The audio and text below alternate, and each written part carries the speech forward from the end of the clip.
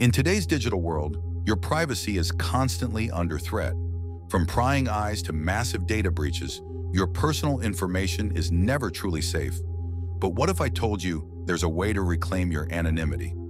In this video, I'll show you how to navigate the online world like a ghost, exploring the dark web safely, using cryptocurrencies without a trace, and mastering secure communication tools like XMPP.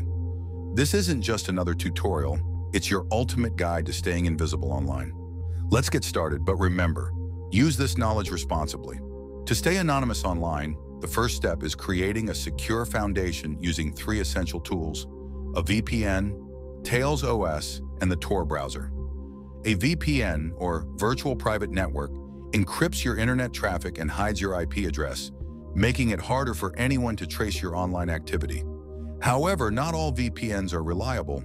Choose one that's fast, has a strict no-logs policy, and accepts cryptocurrency payments for maximum privacy. Services like Mullvad or Proton VPN are excellent choices. Once connected to a VPN, your internet traffic is rerouted through secure servers, providing an extra layer of protection before you proceed to more advanced steps. The dark web is often misunderstood, but when used responsibly, it can be a valuable tool for privacy and access to decentralized resources. To explore it safely, you'll need the Tor browser, which routes your connection through multiple servers to conceal your identity. Start by downloading Tor from the official website to avoid malicious versions. Once installed, open Tor and take time to familiarize yourself with its interface. Access only trusted .onion websites such as whistleblowing platforms or privacy-focused forums. Avoid clicking random links or downloading files, as the dark web can be a risky place if you're not cautious.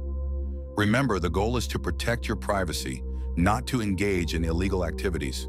Cryptocurrency can be a powerful tool for maintaining anonymity, but it's important to use it correctly. Start by setting up a non-custodial wallet, like Electrum or Exodus, to ensure you have full control over your funds without needing personal information. For maximum privacy, consider using privacy-focused coins like Monero, which are designed to hide transaction details. If you're using Bitcoin, improve your anonymity by using a mixing service, such as Wasabi Wallet, which obfuscates transaction trails. Always fund your wallets through anonymous methods, such as peer-to-peer -peer exchanges or ATMs that don't require identity verification. These steps ensure your financial activity stays off the radar while you transact in the crypto economy responsibly. Secure communication is essential for maintaining anonymity online, and XMPP with encryption is a powerful tool for private messaging. To get started, you'll need a client like Pidgin for desktop, which is lightweight and highly customizable. Begin by choosing a privacy-focused XMPP server, such as Disroot or Snopyta, which allow you to register anonymously. Open Pidgin, go to Asterisk Accounts, then Asterisk Manage Accounts, and select Asterisk Add. Choose XMPP as a protocol, enter your chosen username and server, and complete the setup. For encryption, install the Asterisk Pidgin OMEMO Asterisk plugin to enable end-to-end -end encryption, ensuring your messages stay private. Unlike mainstream apps, XMPP doesn't rely on centralized servers, giving you more control over your communication. Just remember to avoid linking your XMPP account to any personally identifiable information for maximum privacy. Staying anonymous online requires constant vigilance to avoid common mistakes that can compromise your privacy. First, always keep your tools updated. Outdated software can have vulnerabilities that expose you to tracking or attacks. Second, never reuse usernames, email addresses, or wallet information across platforms. Consistency can create a trail that leads back to you. Be cautious of phishing attempts. Double-check URLs before clicking, especially on the dark web.